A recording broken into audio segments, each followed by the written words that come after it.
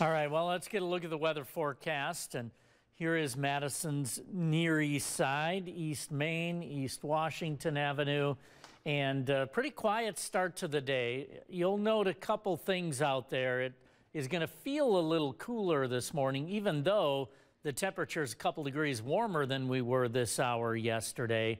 Uh, you will also note that there's some wind, and that's what's making it feel cooler. We have 10 mile per hour wind, and the wind is going to increase from there. I think it'll be fairly breezy by this afternoon and into tonight as well. Temperatures across the region are mostly in the 30s. We have low and mid 30s for southern Wisconsin to start off the day. The wind is northerly 5 to 10, but it'll pick up from there. 10 to 15 mile per hour winds will keep generating wind chills, and I think wind chills will remain in the 20s throughout the day today. So it's going to feel a lot cooler than the mid 40s with fairly light wind that we had yesterday afternoon in some spots.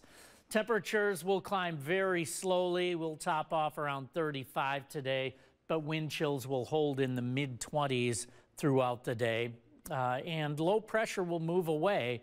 This low, and there's another one just off the screen that's going to help generate some of this precipitation over the Ohio Valley and eventually the northeast part of the United States. We could get a flurry or two out of this. There won't be any more than that, and it would be later this afternoon or this evening. This is 6 p.m.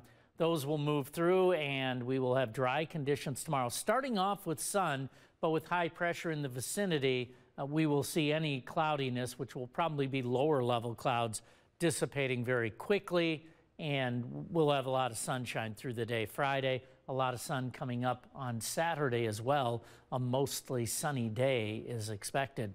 Here's a seven day forecast cloudy 35 today. Cloudy, a few flurries this evening, 24 for the overnight low.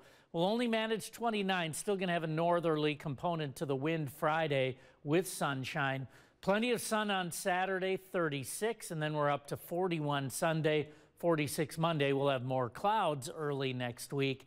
And as low pressure moves in, rain will be likely on Monday. And it looks like that's going to be rain. The low is only going to get down to 37 Monday morning. And then we have a chance some rain or snow moving in on Wednesday. Tim?